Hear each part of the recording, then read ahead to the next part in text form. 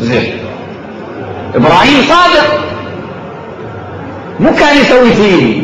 لا حقيقة أخذه إلى منى. ليش أخذه إلى منى؟ حتى أمه ما تشوفه لأن أمه في مكة. أمه في مكة. فأخذه إلى منى. طلع إبليس قدامهم. قال له يا إبراهيم على حلم على رؤيا ولدك إسماعيل. هذا العبد الصالح الطيب الذي ساعدك في بناء البيت.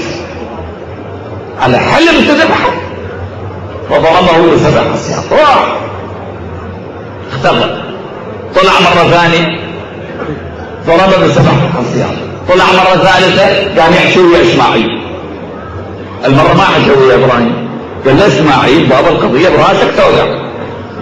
أبوك يريد يذبحك على حلم فضربه أيضا إبراهيم بسبع حصيات جمرة العقبة هذا المكان اللي تكلم إبليس مع إسماعيل والجمال الثلاث هي ثلاثة كبيرة والصغيرة والوسطى. كل واحد يروح للحج جزء من أعمال الحج. في يوم العيد ويوم 11 ويوم 12 أن يرمي الجمار. اليوم الأول فقط العقبة الكبيرة.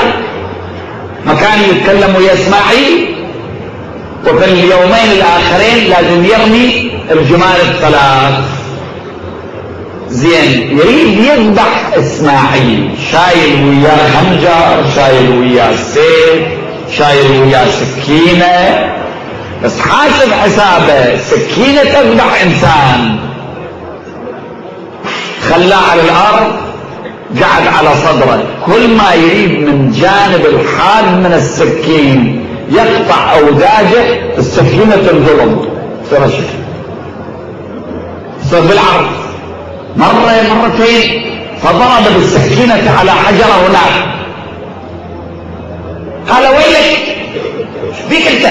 ليش بتذبح فنطق.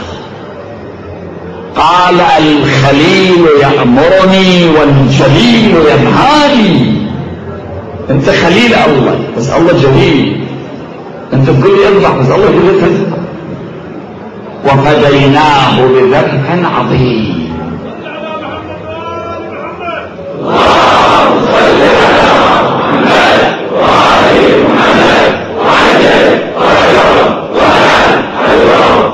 هذا الذبح العظيم الله ما يسمي الخروف عظيم. خروف بالنسبة لنا مو عظيم. فكيف بالنسبة لرب العزة والجلال؟ الذبح العظيم. هو الحسين ليش الله فدى بالحسين؟ ليش؟ لأنه رب العالمين كان مقرر أن يكون رسول الله خاتم الرسل من نسل إسماعيل. فإذا ذبح إسماعيل قبل ما يتزوج معناه ما راح يصير عنده أولاد معناه النبي ما يجي للدنيا. فلازم إسماعيل يبقى حي يتوالد منه أولاد يتناسلون ويكون من نسله محمد بن عبد الله بن عبد المطلب بن هاشم إلى أن يصل إلى إسماعيل.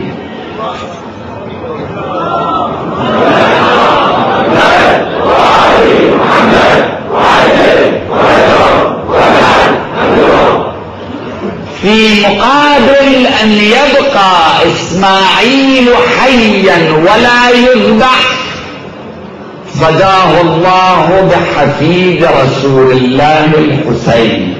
ولذلك النبي قال حسين مني حفيدي وأنا منه مو يعني أنا منه فقط مثلا الحسين يقوم بثورته بنهضته بقيامه بعمله بشهادته بتقديمه.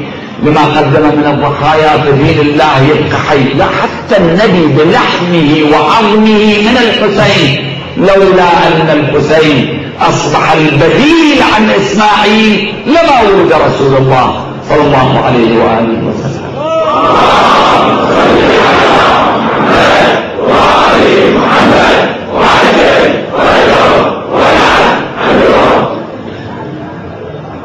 الامام الحسين صادق بيطلع برا يدري أي عاقل لو كان في ذلك العصر كان يعرف أنه الإمام الحسين مع 1500 واحد طلعوا وياهم من مكة المكرمة ما بقوا عنده في كربلاء إلا 73 ما يقدر يسقط إمبراطورية كاملة أجهزتها كاملة مخابراتها كاملة جيشها كامل جنودها كاملين. مجموعة من القضاة مجموعة من الجماعات ويا ويا هذا الحاكم والناس مبايعين قبل ما يموت أبوه. كان يبين لذلك أول خطبة خطبها في مكة. شنو قال؟ خط الموت على ولد آدم مخط القلادة على جيد الفتاة. البنية لما تلبس قلادة شو تصير؟ تصير أجمل تصير أحلى. يقول الموت نوعين. موت يجيك وانت على فراشك هذا موت الذل هذا ما يزينك موت ثاني انت تروح له. هذا يزينك. هذا موت الشهادة. هذا يزين الإنسان. خط الموت. على ولد آدم مخط القلادة على جيد الفتاة.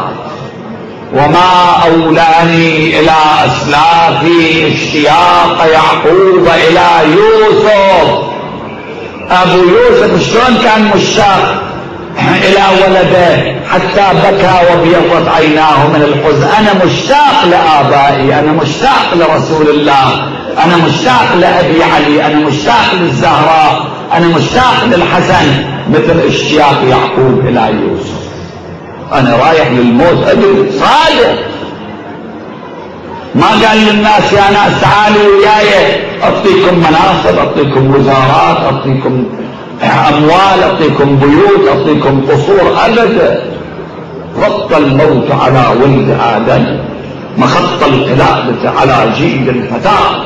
وما اولعني إلى اسلافي إشياء يعقوب إلى يوسف كأني بأوصالي.